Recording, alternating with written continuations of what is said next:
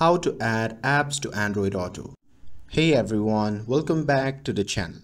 So if you want to add more apps to Android Auto, in this video I'll show you exactly how to do it. So now without further ado, let's get started.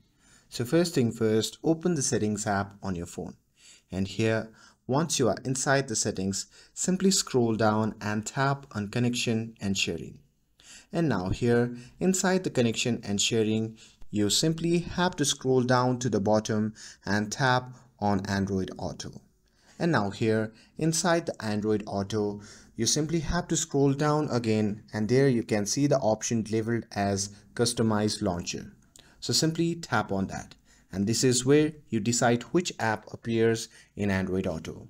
So here, if an app is checked, it will show up in Android Auto and if it is unchecked, it will be hidden. So to add an app, just check the box next to it and that's it. Now you have added the app on Android Auto Launcher to fit your needs, whether it's for your maps, music or messaging. And with this, if you found this video helpful, then don't forget to like, share and subscribe to get updated for more videos. Thanks for watching and I'll see you in the next video.